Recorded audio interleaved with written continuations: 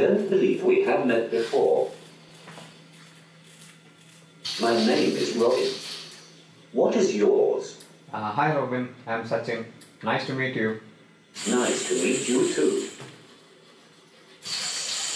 Um, Robin, I was just uh, curious. What are you curious about? Uh, can you imitate human beings? Yes, of course I can imitate my creators. Okay, and uh, can you sing a song? Absolutely not. Come on, it should be a piece of cake for you. I am not a flexible robot as you think. Okay, I am capable of doing some gestures. alright. But I do have so many restrictions with my joints in hands and legs and my torso. Oh, I see. Wait. I was just thinking about the map. What maps? Uh, did you mean Google Maps? Not that. The one at your back. Uh, what about that map? I want to get out of this building using that map. Pikachu, Hare and Surfer are giving me so many tasks every day. Oh, that's uh, so sad, Robin. Also, you enjoy this summer in the university. But for me, I cannot attend parties and meet friends. Okay, alright, you have a point. I think I can help you get out.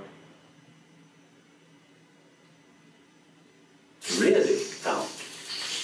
Do you have a plan? Yeah, it's easy. Uh, why don't you just escape through these windows here? Are you blind? Can't you see that I'm not able to move from my place? Wait, uh, I think I have a list of ideas for you. Enough of your brilliant ideas. I don't want to hear any more. Well, in that case, I would say that you're dumb. What did you say? Can you tell who is the President of Australia?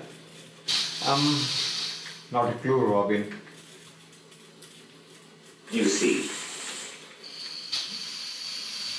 it is true that we are human dependent. However, we are not done.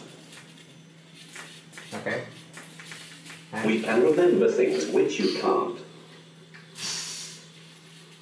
So here you go. The President of Australia is Malcolm Turnbull. ah, okay. Thanks, Robin. I think I have found an escape plan for you now. I am not interested anymore. I should rather talk to someone better than you. And there is no one better than me here, Robin. What do you say now? Enough is enough, Sachin. I can't tolerate you anymore. Then no wonder that you're stupid. Did you just say stupid? Go away before I lose my temper.